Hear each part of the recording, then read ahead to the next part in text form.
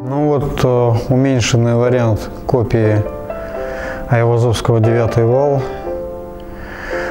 Просто так получилось, пока большая копия стояла в мастерской, пришлось сделать еще вот такой небольшой вариант, метр по большой стороне. Ну, с одной стороны, было проще после того, как я написал большую, э, писать уже маленькую, опираясь на предыдущий опыт.